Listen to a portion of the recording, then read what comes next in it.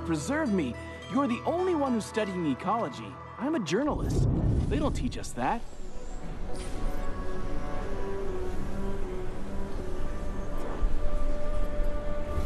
Oh, yes, and decided to avenge their fallen plant brothers. Can't you see how laughable that sounds? What it...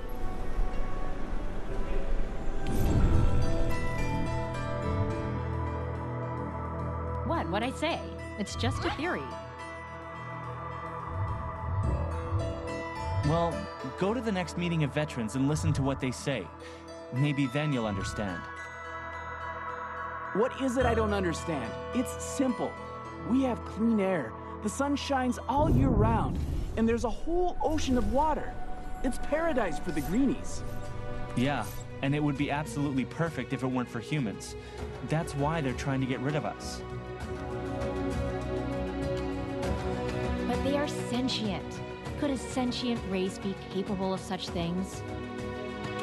Other aliens are sentient as well, but that didn't stop them from exterminating Aelion's people.